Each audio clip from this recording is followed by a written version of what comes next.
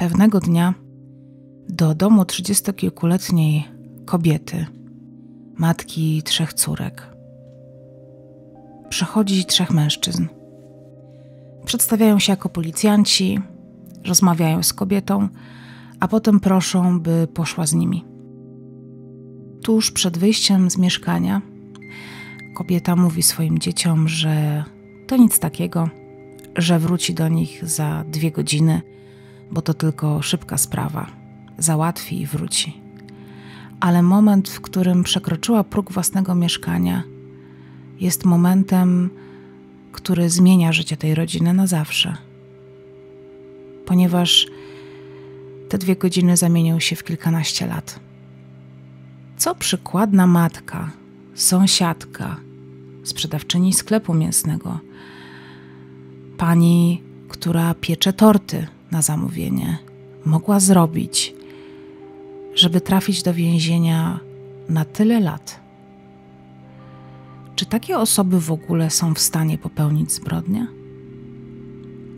Poznajcie dzisiaj historię Ireny Wacław.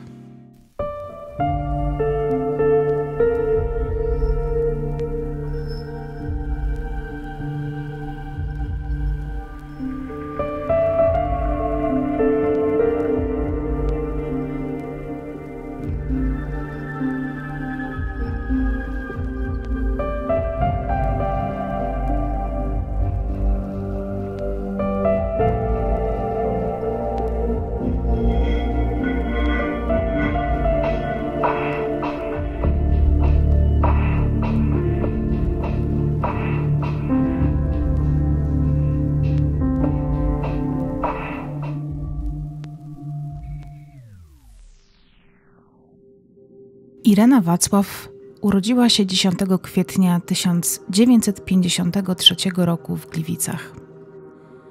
Jest matką samotnie wychowującą trzy córki, ponieważ jej mąż ma problem z alkoholem. Początkowo więc żyją w separacji, ale mąż nie interesuje się życiem swoich dzieci ani swojej żony, nie płaci alimentów i finalnie mężczyzna otrzymuje sądowy nakaz eksmisji z mieszkania, w którym żyje Irena i jej córki. Irena w końcu bierze rozwód i kontakt z byłym mężem się urywa.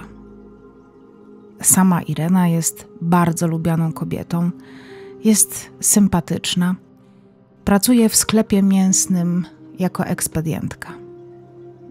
Klienci z chęcią rozmawiają z nią, zresztą też Większość klientów sympatycznie ją wita, wchodząc do sklepu i mówiąc: Cześć, Irenko. Irena wiedzie życie na dobrym poziomie, ponieważ w swojej pracy dostaje przyzwoitą wypłatę. Były to czasy, kiedy handel prywatny kwitł. Mówimy tutaj o początku lat 90., rok 90, 91. Nadchodził czas dobrobytu i niczego w sklepach nie brakowało. Ten dobrobyt oczywiście dotyczył osób, które dorobiły się prywatnych biznesów albo pracowały właśnie w sklepie, w handlu. Wtedy był dostęp do dużo większej ilości towaru, y, większy asortyment był. Do tego wszystkiego takie osoby jak Irena mogły kupować rzeczy w cenach hurtowych, y, na przykład prosząc swojego pracodawcę o jakieś większe zamówienie. Irena od swojego szefa oprócz wynagrodzenia stałego co tydzień dostaje sporą porcję mięsa w ramach dodatkowej premii za swoją pracę. To się nazywa deputat, więc oprócz wypłaty dostawała też mnóstwo żywności, całkiem sporą ilość, przez co nie musiała potem wydawać swoich zarobionych pieniędzy właśnie na zakup wędlin czy mięsa. Szef dawał też Iranie możliwość odbierania równowartości tego deputatu w banknotach, z czego czasami kobieta korzysta. Irena po pracy często wybiera się na zakupy do lokalnych sklepów. Odwiedza targ i różne bazarki. Zresztą jednym z jej ulubionych jest bazar Balcerek, który do niedawna, czy no już to nie tak do niedawna, znajdował się w samym centrum Gliwic i był miejscem wręcz kultowym. Jest też taki mały targ obok miejsca, gdzie ona mieszkała, nazywał się Handelek. I tam Irena uwielbia kupować ubrania, świeże owoce, orzechy. Warto też wspomnieć, że interesuje się modą, więc zawsze stara się ubrać elegancko i modnie. Często na zakupy zabiera swoje córki i pozwala im wybierać, co tylko chcą. Pasją Ireny jest szycie. W mieszkaniu ma swoją maszynę do szycia, więc jak tylko ma okazję, szyje przeróżne ubrania dla siebie, swoich dzieci, sąsiadek, sąsiadów. Zresztą właśnie ci ostatni często odwiedzają Irenę i proszą o pomoc w drobnych poprawkach krawieckich. A to trzeba przyszyć guzik, a to załatać dziurę, a to zacerować coś wyjątkowego. Irena zawsze chętnie służy pomocą. W sklepie mięsnym Irena pracuje od dwóch lat. Właścicielem tego sklepu jest Edward, mąż koleżanki Ireny. Ich stosunki są poprawne, a Irena jako pracownica jest solidna, dba o czystość w sklepie, jest sympatyczna dla klientów, nigdy się nie spóźnia do pracy, jest godna zaufania. Nie było z nią zresztą nigdy żadnych problemów, a Edward, ze względu na fakt, że Irena jest koleżanką jego żony, wie o niej nieco więcej. Przede wszystkim wie, że wychowuje samotnie trzy córki. A w momencie, w którym dzieje się akcja, dziewczynki miały 16, 15 i 8 lat. To bardzo wymagający wiek w życiu nastolatka i dziecka, a nie zapominajmy, że Irena sama utrzymuje czteroosobową rodzinę, więc Edward wiedział, że jego pracownica nie ma pomocy od męża. Dlatego starał się jej pomagać, dawał trzynaste pensje, podwoził po pracy do domu, tylko po to, żeby szybciej mogła wrócić do dzieci. Pewnego dnia po zakończonej pracy szef proponuje Irenie, że podwiezie ją do mieszkania. Irena zgadza się. Ale Edward decyduje, że po drodze odwiedzi jeszcze swoją ciotkę. Ciotka ma 82 lata, więc często potrzebuje pomocy. Irena oczywiście nie ma z tym problemu. Edward zaprasza Irenę, żeby na chwilkę wyszła z nim do mieszkania staruszki i podczas tych odwiedzin Irena dowiaduje się, że ciotka Edwarda posiada sporą sumę odłożonych pieniędzy. I mówimy tutaj o dolarach, markach oraz o polskich złotówkach. Jeszcze przed denominacją. Dowiaduje się też, że staruszka ma na imię Stanisława i mieszka z adoptowaną córką której zresztą często nie ma w domu. 5 września 1991 roku Irena nie pojawia się w pracy. Tego dnia ma inne plany. Udaje się bowiem pod adres 82-letniej staruszki, ciotki Edwarda, którą dwa tygodnie wcześniej odwiedziła. Początkowo Irena kręci się po osiedlu, Wielokrotnie wchodzi na klatkę schodową, po czym z niej wychodzi i czeka. Swoim zachowaniem zwraca uwagę sąsiada mieszkającego w tej samej klatce co staruszka. Mężczyzna zresztą kieruje pytanie nawet do Ireny, w jakim celu tu jest, czy kogoś szuka, czy może jej nie pomóc. Ale Irena w bardzo osły sposób odpowiada nieznajomemu, że to nie jest jego sprawa i postanawia wyjść na zewnątrz. Mężczyzna zdaje się być zaniepokojony zachowaniem kobiety, więc postanawia, że będzie ją przez chwilę obserwować. I kiedy przez kilkanaście czy kilkadziesiąt minut nie widzi jej, bardzo się dziwi, kiedy mm, po właśnie tym upływie czasu przez okno kuchenne zauważa, że Irena z powrotem wchodzi do klatki schodowej. Wtedy wychodzi z mieszkania i decyduje się, że znowu porozmawia z tą nieznajomą dziwną kobietą, ale kiedy wychodzi na klatkę, ta zdaje się być pusta. Irena rozpływa się w powietrzu. A to dlatego, że tym razem po prostu weszła do mieszkania Stanisławy, ponieważ drzwi do jej mieszkania okazały się być otwarte. Ciotka szefa Ireny pytają, kim jest i co ją do niej sprowadza. Wtedy Irena przedstawia się jako koleżanka żony Edwarda i że przyszła tutaj, ponieważ została poproszona przez żonę Edwarda o to, by w ich imieniu przyszła z prośbą o pożyczkę pieniędzy, ponieważ oni nie mają czasu sami osobiście do niej przyjść. Starsza pani jest mocno zdezorientowana zaistniałą sytuacją i mimo, że waha się, ponieważ może faktycznie jej y, siostrzeniec czy bratanek potrzebuje pomocy, ale resztkami trzeźwego umysłu nie zgadza się na żadną pożyczkę, ponieważ nic jej na ten temat nie wiadomo. I ta odmowa Stanisławy Eł powoduje, że w Irenie narasta gniew. Wie też, że w mieszkaniu nie ma adoptowanej córki, ponieważ obserwowała to mieszkanie, ale z drugiej strony nie ma zielonego pojęcia, o której córka będzie wracać. W każdej chwili przecież może wrócić do mieszkania. I pod tą presją Irena postanawia wziąć pieniądze siłą. Staruszka jednak reaguje wołaniem o pomoc i krzykiem, więc w tym momencie Irena podejmuje ostateczną decyzję. Rzuca się na starszą panią, powala ją na podłogę i kiedy szamocze się ze staruszką, do mieszkania zaczyna się dobijać adoptowana córka, która wraca z zakupów. Irena, kiedy weszła do tego mieszkania, zadbała o to, by zamknąć mieszkanie od wewnątrz. Córka zaczyna wołać swoją matkę. Irena w obawie, by córka nie usłyszała, co się dzieje w mieszkaniu, przytrzymuje szyję staruszki, a w ręce bierze poduszkę i zaczyna dusić swoją ofiarę.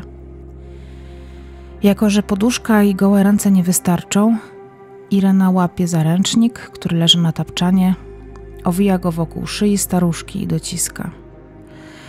Po tym, jak ofiara przestaje oddychać, Irena nie może wyjść z mieszkania, przecież na korytarzu pod drzwiami stoi córka zamordowanej przed minutą kobiety.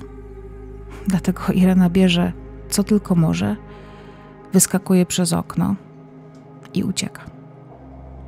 Nikt jej w tym momencie nie widzi, co jest szalenie dziwne, ponieważ akcja dzieje się w środku dnia na dość sporym osiedlu. Córka ofiary, przez to, że nie potrafi się dostać do mieszkania, woła na pomoc sąsiadów, którzy z kolei oferują jej położyczenie drabiny i dostanie się do mieszkania przez otwarte okno, którym zresztą kilka minut wcześniej uciekła zabójczyni. Kiedy córka dostaje się do mieszkania, zastaje swoją mamę leżącą bezwładnie na podłodze przed tapczanem, twarzą do ziemi. Córka zawiadamia policję. Policja stwierdza zgon. Funkcjonariusze informują resztę rodziny o śmierci, ponieważ córka ofiary wpadła w rozpacz. Kiedy dowiaduje się o tym Edward Eł, czyli właściciel sklepu, szef Ireny, jest w kompletnym szoku i nie ma pojęcia, kto mógł czyhać na życie jego ukochanej ciotki.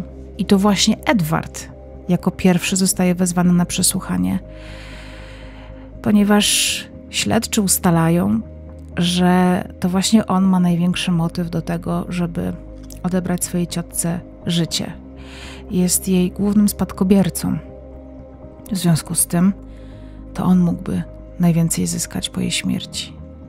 Kiedy jednak śledczy zaczynają przesłuchiwać sąsiadów z bloku Stanisławy, docierają do mężczyzny, który zeznaje, że przez cały dzień, przez dwie godziny przed południem, mniej więcej od godziny 10 do godziny 12, kiedy mm, najprawdopodobniej doszło do zabójstwa, na klatce schodowej w okolicy e, kamienicy czy bloku, w którym mieszkała pani Stanisława, kręciła się jakaś dziwna kobieta.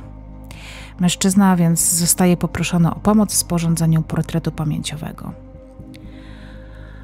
W tym samym czasie Irena wraca do swojego mieszkania i bierze się za gotowanie obiadu. Wie, że za chwilkę jej córki wrócą ze szkoły, a kiedy wracają ze szkoły są głodne, czeka na nie obiad i Irena nie ma zamiaru tej rutyny zmieniać dzisiejszego dnia. Gotuje, pichci, jest zadowolona z dzisiejszego dnia. Pod nieobecność córek do saszetki wkłada zrabowane 3 miliony starych złotych i 5 dolarów amerykańskich. 3 miliony starych złotych to na dzisiejsze pieniądze 300 złotych. Możemy się śmiać z takiej kwoty, ale jeżeli byśmy sobie tę wartość nabywczą pieniądza przeliczyli na 91 rok, to wyszłaby z tego całkiem spora suma. Niepowalająca, ale też nie mała. Dzień później w Nowinach Gliwickich, które są lokalną gazetą, pojawia się artykuł o zabójstwie starszej pani oraz portret pamięciowy podejrzanej kobiety. Czy Irenę stresuje to, że tak szybko pojawia się wzmianka w tygodniku? Nie, wręcz przeciwnie. Ogarnia ją spokój, bowiem wie, że jej portret pamięciowy kompletnie nie przypomina jej wizerunku. Jest totalnie inny. Odpuszczają więc stres i kobieta szybko wraca do normalności. I w tej normalności przez dłuższy czas udaje jej się żyć. Opiekuje się córkami, jest przykładną matką. W dalszym ciągu pracuje w sklepie. A w sprawie zabójstwa Stanisławy nie dzieje się nic. Policji udało się ustalić, że kobieta została uduszona, ale z powodu braku dowodów śledztwo zostaje umorzone. To bardzo usypia czujność Ireny, ponieważ policja ani razu nie przyszła do niej w sprawie zabójstwa starszej pani. Co więcej, była poza jakimkolwiek podejrzeniem. Wtedy w głowie 38-latki pojawia się niebezpieczna myśl, że skoro za pierwszym razem poszło tak gładko, to przecież za drugim też się uda. Kobieta postanawia zaatakować ponownie. Drugą starszą panią, która pojawia się na liście Ireny, jest matka jej znajomej, a dokładnie matka żony kolegi jej byłego męża. Poniekąd starsza pani jest znana Irenie, ponieważ kiedyś poznała ją podczas uroczystości, jaką organizowali właśnie ci znajomi. A była to niemała uroczystość, ponieważ chrzciny ich córki, czyli wnuczki kolejnej ofiary. Co więcej, jako goście Irena i jej mąż nie mogli być anonimowi albo tacy do pominięcia, ponieważ były mąż Ireny, Alek, miał być ojcem chrzestnym tej dziewczynki.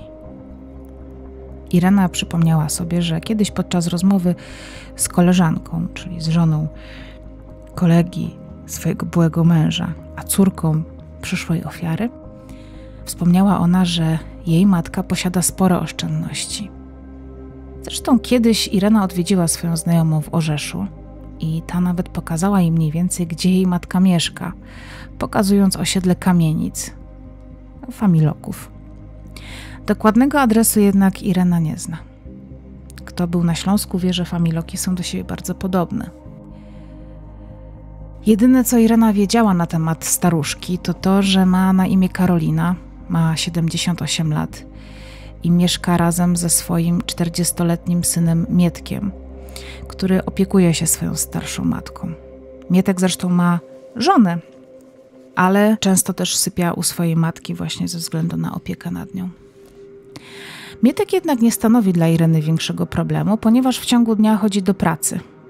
Pracuje na kopalni, jest górnikiem, ale nie jest to jego jedyna praca, ponieważ Irena wie, że Mietek jeździ za granicę i skupuje złoto. A pani Karolina, jako starsza pani, otrzymuje emeryturę.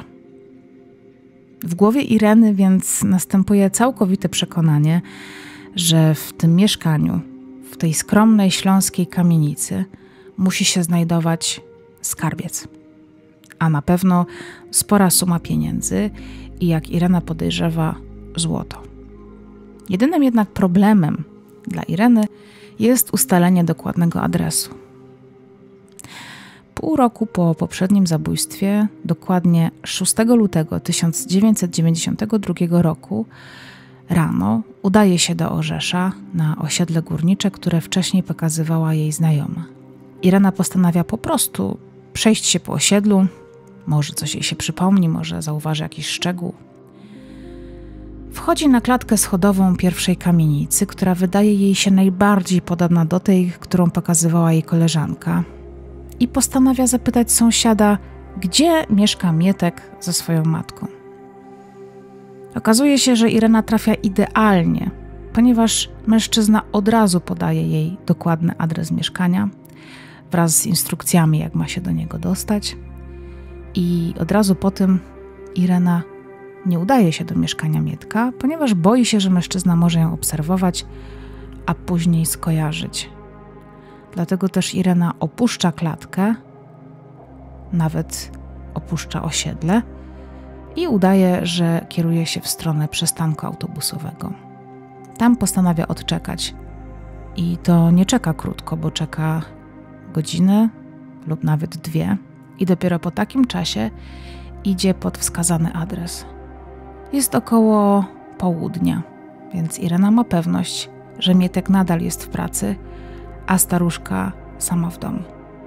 To też taka godzina, kiedy właściwie z jednej strony możemy trafić na każdego, ponieważ miasto wtedy żyje, starsze osoby chodzą na zakupy, na spacery, matki z dziećmi chodzą z wózkami, ale z drugiej strony jest to totalnie ślepa godzina, ponieważ ludzie, którzy pracują, są wtedy zazwyczaj w domu nieobecni.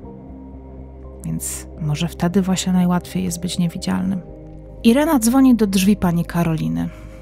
Otwierają się, lecz starsza pani jest ostrożna i drzwi otwiera, ale tylko wtedy, kiedy są zablokowane łańcuszkiem. Zdziwiona pyta Irenę, co ją sprowadza w jej skromne progi, a ta bez wahania mówi, że przyszła w odwiedziny do Mietka, bo powiedział jej, że ma dzisiaj wcześniej wrócić z pracy. Pyta więc panią Karolinę, czy może zaczekać na niego w mieszkaniu. I starsza pani, pełna entuzjazmu, że to znajoma jej syna i że przy okazji będzie mogła sobie z kimś porozmawiać, wpuszcza ją do środka. Proponuje jej kawę. Kobiety siedzą w kuchni, pani Karolina przygotowuje obiad. Rozmowa przebiega zresztą bardzo sympatycznie. Irena wypytuje staruszkę o zdrowie, pyta jak się czuje. Pytają o różne historyczne fakty, o jakieś jej przeżycia. No, naprawdę bardzo miła wizyta. Kiedy pani Karolina kończy gotować obiad, częstuje Irenę kotletem mielonym. E, do tego kotleta dostaje chleb. Zresztą Irena zjada zarówno kotleta, jak i chleb ze smakiem. A potem e, pani Karolina postanawia pokazać Irenie swoje mieszkanie. Pokazuje jej album ze zdjęciami, pokazuje fotografie w ramkach, opowiada historię całej rodziny, pokazuje różnego rodzaju pamiątki. W pewnym momencie emerytka zauważa przez okno kogoś znajomego. Była to Kornelia, żona Mietka, i z racji tego, że wie, że y, Kornelia zna się z Ireną, chce ją zaprosić do środka, żeby kobiety się mm, spotkały. Y, pewnie Kornelia będzie zaskoczona wizytą tak miłego gościa, ale Irena wie, że nie może mieć kolejnych świadków, więc postanawia jakoś odciągnąć szybko uwagę pani Karoliny i do zawołania Korneli nie dochodzi. Zresztą temat e, właśnie i Korneli, i opowieści rodzinnej wtedy się urywa.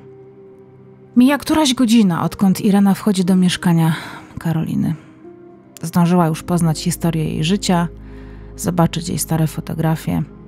Narasta w niej niecierpliwość i frustracja, a poza tym wzrasta stres, ponieważ zdaje sobie sprawę z tego, że już spędziła tutaj tyle czasu, że zaraz naprawdę już ktoś może wrócić do domu. Ona nie zna rozkładu pracy Mietka ani tego, kiedy kończy się szychta na kopalni. W związku z tym zaczyna, brzydko powiem, kombinować, w jaki sposób wyciągnąć od Karoliny pieniądze.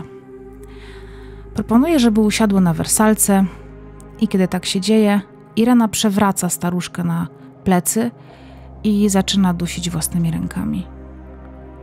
78-latka jest jednak godną przeciwniczką, ponieważ stara się uwolnić, broni się i to dosyć skutecznie.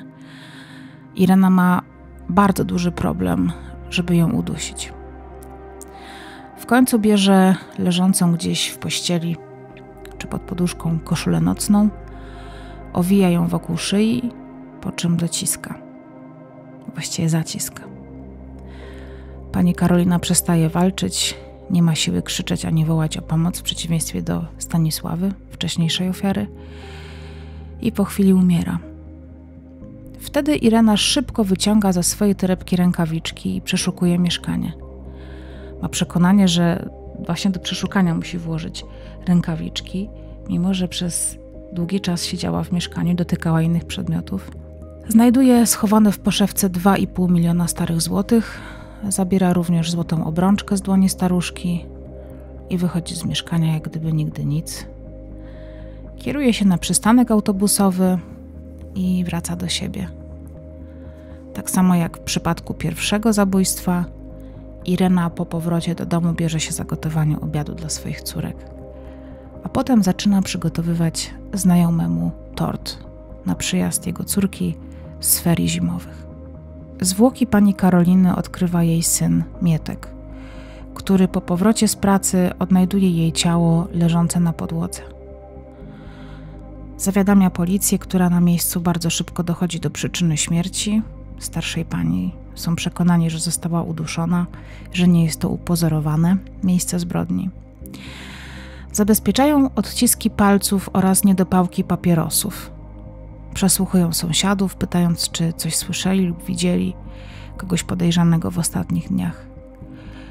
Sąsiad pani Karoliny zeznaje, że spotkał kobietę, która szukała Mietka i starszej pani. Tym razem dokładnie opisuje wygląd, na podstawie którego zostaje sporządzony portret pamięciowy. Tym razem jest bardzo podobny do wizerunku Ireny. Dokładnie po trzech dniach od zbrodni policja odwiedza Irenę w mieszkaniu. Irena przygotowuje tort, tym razem na urodziny córki znajomego. Policjanci zabierają kobietę na przesłuchanie, na komisariat. Irena całuje swoje dzieci, mówi im, że nie wie o co chodzi, ale pociesza je, by niczym się nie martwiły, że na pewno nie może to potrwać długo i że pewnie za jakieś dwie godziny wróci do domu.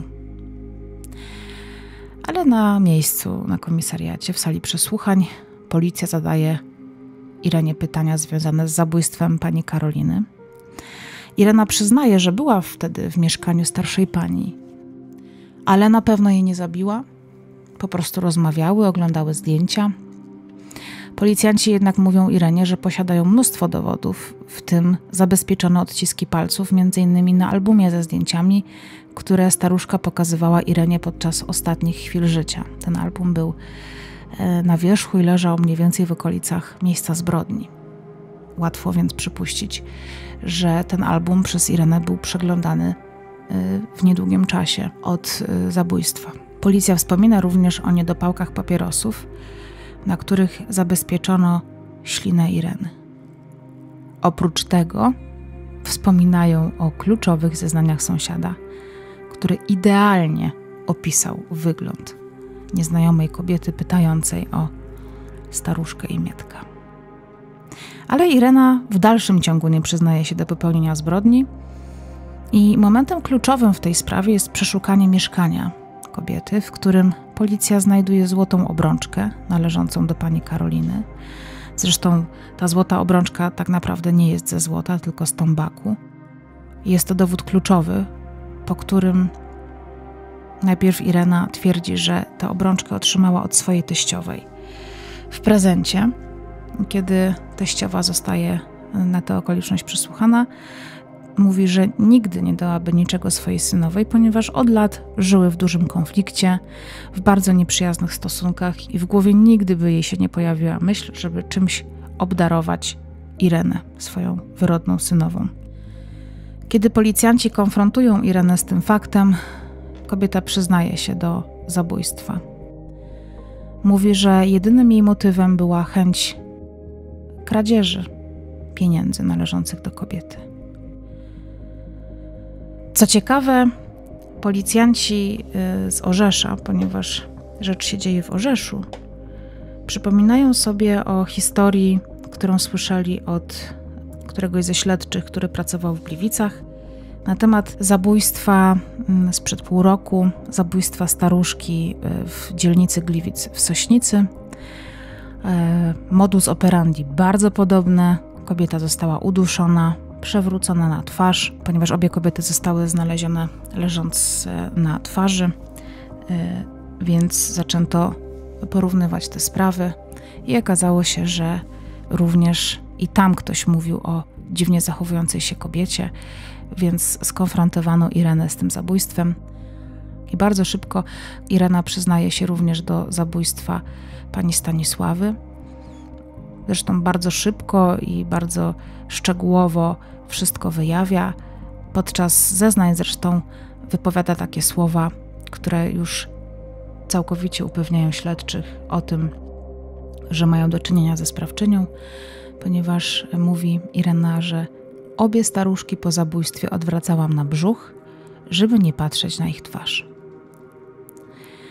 Jak łatwo się domyślić, Irena Wacław po tym przesłuchaniu już nie wraca do domu. Został dla niej zastosowany tymczasowy areszt. Kobieta zostaje poddana badaniom psychiatrycznym, które wskazały, że Irena ma poważne zaburzenia cech osobowości. Wyniki badań wyszczególniły również u niej niedojrzałość emocjonalną oraz zaburzenia uczuć złożonych. W wyniku procesu Irena zostaje skazana na 25 lat pozbawienia wolności. Sąd określa Irenę też jako bezwzględną morderczynię, a jej działania za bardzo okrutne. Jedynym motywem Ireny była chęć zagarnięcia majątku jej ofiar. Była gotowa zabić niewinne kobiety dla kilkuset nowych złotych, co wydaje się ohydną zbrodnią. Zresztą każda zbrodnia jest ohydna, ale dla mnie zbrodnie o podłożu finansowym są. Ach, szkoda komentować. Irena za swoje ofiary wzięła kobiety starsze, więc bezbronne, które nie miały możliwości obrony albo miały bardzo ograniczoną taką możliwość. Irena ze względu na swój wiek, a co za tym e, też ze względu na koordynację oraz sprawność fizyczną, była od razu na wygranej pozycji w starciu z 78 i 82-letnią kobietą. Irena okazała chyba największą bezwzględność w momencie, w którym kobiety wpuszczały ją do mieszkania. Okazywały jej gościnność, częstowały herbatą, kawą, obiadem. Pani Karolina przecież ugotowała dla niej kotlety. Zwierzyła się z historii swojego życia. I nawet po tak mile spędzonym czasie Irena nie zrezygnowała ze swoich zamiarów. 17 listopada 1993 roku, podczas odsiadywania wyroku, Irena Wacław zwróciła się do sądu z prośbą o ponowny proces w jej sprawie, a swoją prośbę argumentowała w liście. Tutaj cytuję książkę Katarzyny Bondy Polskiej Morderczynie. Ja wiem, kto to zrobił, ale nie mówiłam, bo się bałam. Nie mogę tak żyć bez moich dzieci. Gdybym wtedy miała gotówkę, wzięłabym dobrego adwokata, prywatnie. Ale tak, jak go teraz opłacę? Ja wzięłam to na siebie i sama nie wiem, ze strachu. Nie potrafię sobie poradzić z życiem tutaj. Nie mogę i nie nadaję się do życia z ludźmi takimi, jak są tutaj. Pochodzę z bardzo bogobojnej katolickiej rodziny i wierzę, że Pan Bóg będzie nas sądził na sądzie ostatecznym. Nie winię nikogo, tylko samą siebie, ponieważ cudzą winę w całości wzięłam na siebie. Był ze mną mężczyzna, którego ukrywałam, bo oświadczył, że zemści się na mnie i dzieciach i rodzinie. Prośby Ireny jednak nie zostały wysłuchane. Sąd stwierdził, że w przypadku Ireny zbrodnie były zaplanowane, przemyślane i nieprzypadkowe. Ale kobieta nie poddawała się i prośbę o złagodzenie kary lub o ponowny proces składała jeszcze czterokrotnie. Za każdym razem decyzja sądu była negatywna. Po kilku latach odsiadywania wyroku, Irena Wacław całkowicie zmieniła swoje zeznania. Jak twierdziła, błędnie przyznała się do winy, ponieważ nie działała sama. W obydwu morderstwach miała wspólnika, którym miał być jej zaufany przyjaciel Stanisław. Pewnego dnia podobno przyszedł do Ireny i powiedział jej, że potrzebuje pieniędzy na już. Irena wspomniała mu wtedy o pani Stanisławie, mając na myśli zwrócenie się do niej o pożyczkę. Chociaż w programie Cela Numer podczas rozmowy z Edwardem Miszczakiem nie mówiła o pożyczce, tylko mówiła właśnie o tym, że powiedziała Stanisławowi o tym, że ta kobieta. Znaczy, nie mówiła o kradzieży, tylko mówiła o czymś takim, że Powiedziałam Stanisławowi o tym, że jest kobieta, która ma adoptowaną córkę, której często nie ma w domu i że wtedy można pod nieobecność tej córki przyjść. No.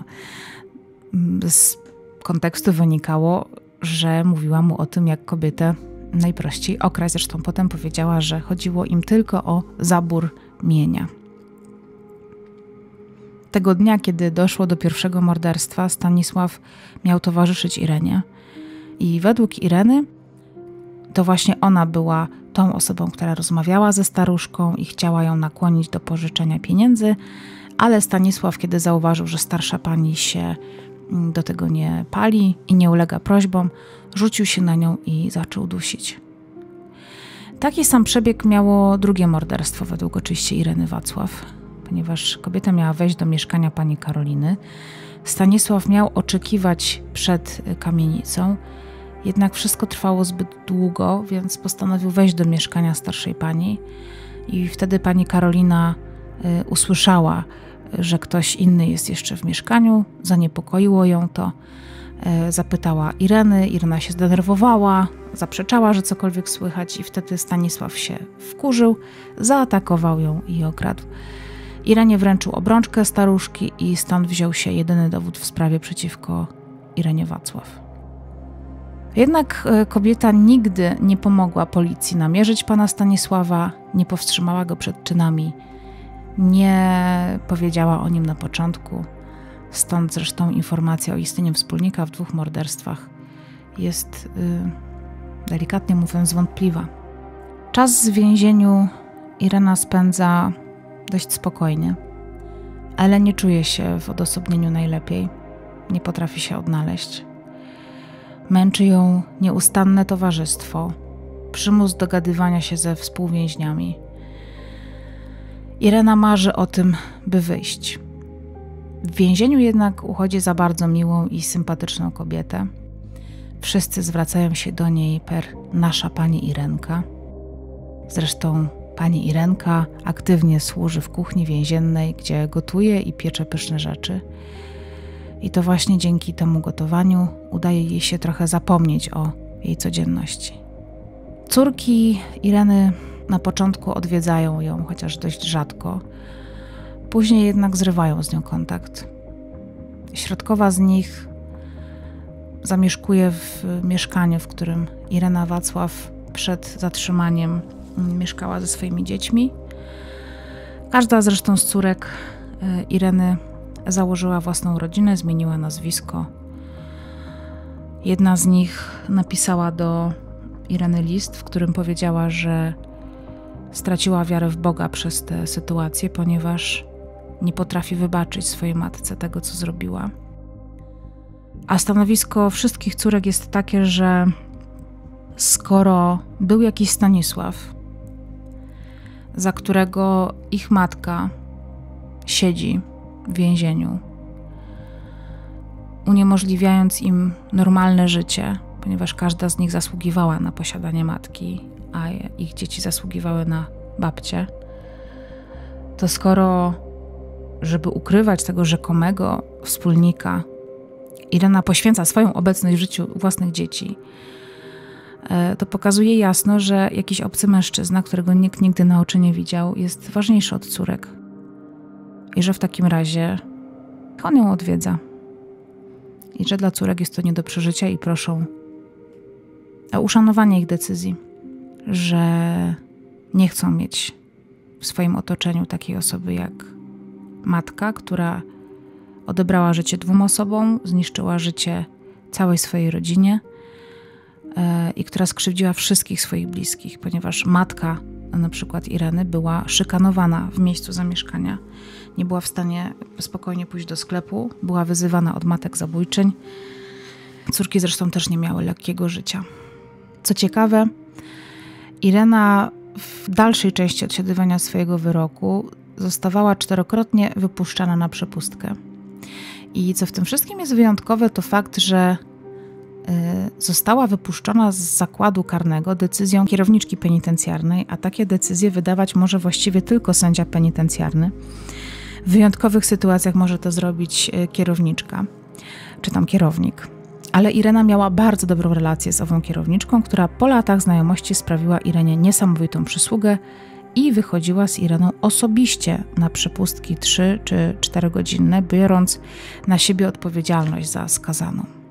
W 2012 roku Irena otrzymuje decyzją sądu zgodę na przedterminowe zwolnienie warunkowe, dokładnie po 19 latach i 6 miesiącach. Jedynym jej obowiązkiem było regularne zgłaszanie się na policję w trakcie tego warunkowego zwolnienia. Ze względu na fakt, że jedna z córek zamieszkała wraz ze swoim mężem i dziećmi w jej mieszkaniu, oraz ze względu na to, że żadna z latorośli od ponad 10 lat nie nawiązała żadnego kontaktu ze swoją matką, Irena po wyjściu z więzienia trafiła do ośrodka dla kobiet bezdomnych Agape. Jest to prawdopodobnie ośrodek w Wiśle. Jednak w trakcie tego zwolnienia warunkowego Irena nie stosowała się absolutnie do zaleceń policji i po kilku dniach opuściła samowolnie ten ośrodek Agape oraz przestała się zgłaszać na policję. Pracownicy tego ośrodka zgłosili więc policji, że Irena nie wróciła do nich po jednym z wyjść. Podobno w tym czasie Irena z tego ośrodka pojechała do Gliwic. Wisła no nie jest jakoś super blisko, ale do Gliwic można dojechać nawet bezpośrednim pociągiem i próbowała nawiązać kontakt z córkami. W wyniku tego zdarzenia prokuratura wniosła o cofnięcie warunkowego zwolnienia, ale Ireny już policja nie mogła namierzyć. Stąd też, jeżeli wpiszemy sobie w Google dzisiaj e, imię i nazwisko Ireny Wacław, wyskoczą nam listy gończe z 2012 roku, ponieważ to właśnie od 2012 do 2014 roku Irena była poszukiwana listem gończym właśnie za to samowolne opuszczenie ośrodka Agapy i nie stawianie się na komisariacie. Co też pokazuje, ponieważ w książce na przykład Katarzyny Bondy jest yy, opisane, jak bardzo Irenie zależy na tym, żeby wyjść z więzienia, że ona zrobi wszystko, żeby być na wolności. Kiedy się na niej znalazła, to nie zrobiła nic, żeby tę wolność yy, uszanować. Po ponad dwuletnich poszukiwaniach została zatrzymana w mieszkaniu pewnego mężczyzny na terenie Gliwic. Co to był za mężczyzna?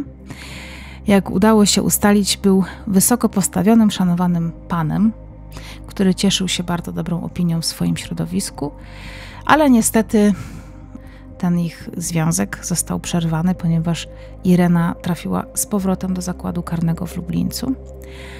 Ale ten ukochany nie pozwolił na to, żeby Irena resztę życia, czy resztę, tych, resztę swojego wyroku spędziła w więzieniu, więc poręczył za nią i stwierdził, że w czasie, kiedy była poszukiwana, nie popełniła żadnego złego czynu, Obiecał także, że gdy tylko Irena dokończy odsiadywanie wyroku, to zamieszka u niego w mieszkaniu na stałe i najprawdopodobniej zostanie jego żoną. E, mężczyzna też został poinformowany o przeszłości Ireny, powiedział, że jest tego świadomy, że wie, jakie zbrodnie dotychczas Irena popełniła, ale wierzy, że zmieniła się i nie jest już tą samą Ireną, która w 1991 i 2002 roku zabiła dwie starsze panie. Ja sobie zadawałam przez cały czas, kiedy robiłam tę sprawę, nad tym, jaki ona tak na dobrą sprawę miała motyw, bo taki. Mm, ona nie miała kłopotów finansowych, przecież y, powodziło jej się całkiem nieźle, jak się okazuje. No i tak sobie szperałam, szperałam w internecie i znalazłam archiwalny numer magazynu kryminalnego z 1992 roku. To jest artykuł pod tytułem Dosicielka staruszek i tam dotarłam do innych informacji, do nowych informacji, które rzucają na naszą kochaną panią Irenkę trochę inne światło. Ponieważ ta historia jawiła mi się jako wyrwanie nagle e, takiej spokojnej, miłej, dobrej kobiety, ułożonej gdzieś tam życiowo, z bezpiecznej i rutynowej rzeczywistości, nagle w taką ostrą e, historię kryminalną, że to w ogóle się nie trzyma kupy. Ale jednak w przeszłości Irena nie była taka nieskazitelna, ponieważ na jej koncie, na swoim koncie miała kilkumiesięczny pobyt w zakładzie poprawczym właśnie za kradzieże. A wiele osób, które Irenę znały czy znało, miało takie przekonanie, że Irena lubi sobie czasami coś tak po prostu podwędzić i zabrać. I miała tendencję do y, takich drobnych kradzieży. Oczywiście w towarzystwie bardzo sporo osób nie nazywało tego kradzieżą, tylko właśnie raczej takim podbieraniem, ale pewnym było to, że jeżeli się Irena gdzieś zapraszało do jakiegoś mieszkania czy do jakiegoś miejsca, to zazwyczaj z tego miejsca coś po takich odwiedzinach Ireny znikało. E, miała opinię kleptomanki, oczywiście Y, dość żartobliwie do tego podchodzono, ale to też było czasami źródło różnego rodzaju konfliktów i powodem było też zrywania różnych znajomości, więc y, te zdolności czy te ciągotki Ireny do kradzieży były widoczne od dawna i co najważniejsze dla tej sprawy mm, buduje to dużo lepiej e, taki portret psychologiczny mm, Ireny. Do tego wszystkiego należy pamiętać, że Irena nie przyznawała się y, zarówno do pierwszego, jak i do drugiego zabójstwa przez dość długi czas.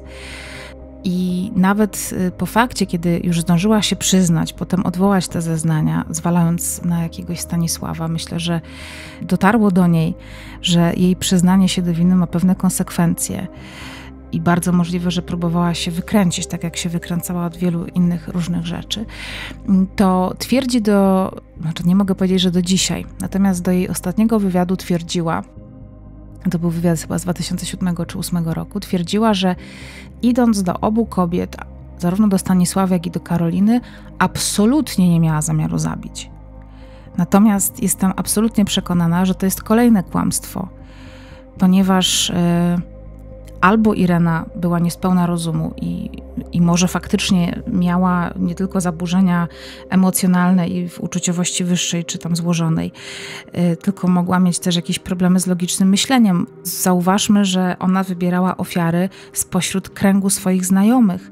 Przedstawiała się tym ofiarom, powoływała się na znajomości z y, bliskimi tych ofiar, więc jakim cudem chciała być nierozpoznana po, po fakcie. Chciała ukraść pieniądze, wyrywając je siłą, potem iść do domu i się wszystkiego wypierać. No w ogóle to jest jakiś absurd. Więc jestem absolutnie przekonana o tym, że Irena wybierając sobie już y, ofiarę kradzieży, wiedziała, że oprócz kradzieży dojdzie też do zabójstwa. Myślę, że właśnie dlatego też wybierała starsze osoby, którym była w stanie dać radę. Y, były to osoby bezbronne, często też y, samotne w pewnym okresie dnia. Mm, więc nie wierzę tutaj w to, że Iranie chodziło tylko o kradzież. Poza tym warto zauważyć, że ta kradzież też była nieudolna. Rozumiem, że u Stanisławy nastąpił zwrot akcji w postaci powrotu córki w trakcie popełnienia zabójstwa. Co ciekawe, Irena zamiast uciec i jeszcze ocalić kobiecie życie i narazić się w ogóle na demaskację, chociaż naraziłaby się pewnie gdyby kobieta żyła, więc też rozumiem, znaczy rozumiem, tutaj mówię w cudzysłowie, że jednak zabójstwo było jedyną opcją, ale pomyślmy sobie tylko, w jakiej presji, pod jaką presją ona y, tego zabójstwa dokonała, kiedy mieszkanie było na parterze, można było do tego mieszkania wejść w każdej chwili, właśnie też po drabinie. Pod drzwiami stała y, hałasująca już w tym momencie córka i mimo wszystko Irena dopełniła swoich założeń, czyli odebrała kobiecie życie i jeszcze uciekła przez okno, kiedy już było zamieszanie wokół tego mieszkania. No, coś niezwykłego, niezwykłe, mówię tutaj o niezwykłości takiego wyrachowania i, i tego zaprzeczania i umniejszania swojej winy. Jestem ciekawa, jakby dzisiaj e, eksperci przebadali mm, psychologicznie właśnie Irenę Wacław co by powiedzieli. Nie mam pojęcia, czy kobieta ma kontakt z córkami. Mm, z tego co wiem, żyje, mieszka w Gliwicach, ale nic więcej na ten temat nie wiem i jestem ciekawa, czy życie, które dzisiaj Irena Wacław prowadzi, jest dobrym, uczciwym i spokojnym życiem, które nie czyni krzywdy innym osobom oraz jej bliskim. To, co możemy z tej sprawy wyciągnąć, to może to, żeby nie mówić innym o tym, gdzie mamy pieniądze, jakie mamy pieniądze. Mm, może nie dzielmy się tak bardzo swoimi, czy takimi życiowymi naszymi harmonogramami dnia obcym ludziom, albo nawet takim niezbyt zaufanym, a jeżeli mamy mm, na przykład pojęcie o czyimś harmonogramie dnia, to też nie dzielmy się tą wiedzą z innymi, ponieważ właśnie tutaj w obu przypadkach to właśnie takie opowiadanie o czyichś zwyczajach i o czyjejś majątności i o tym, że na przykład osoba ma jakieś kosztowności, które zresztą przechowuje gdzieś w mieszkaniu, mm, sprawiły, że ktoś zły usłyszał, że te informacje trafiły do bardzo złej osoby, która postanowiła je wykorzystać. Co ciekawe, właśnie, bo o tym jeszcze zapomniałam, że Irena mogła z tych mieszkań wyciągnąć dużo więcej kosztowności. Jedna z kobiet przechowywała y, naprawdę duży majątek w piecu kaflowym, y, przechowywała też złoto, które było w meblościance czy tam w kredensie i te kosztowności nie zostały zabrane. Irena Wacław tak naprawdę ukradła tym kobietom bardzo niewielkie kwoty, stosunkowo niewielkie do tego, co mogła faktycznie e, z tych mieszkań zabrać, i możemy uznać właśnie to za cenę ich życia, co tylko wzmacnia ohydność tej zbrodni. Dziękuję Wam za uwagę. Życzę Wam wszystkiego dobrego. Dbajcie o siebie i bądźcie bezpieczni. Do usłyszenia.